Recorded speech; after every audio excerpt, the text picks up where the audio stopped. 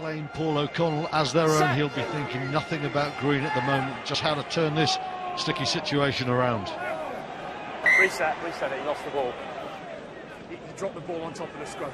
I think we know one thing. Munster will not panic.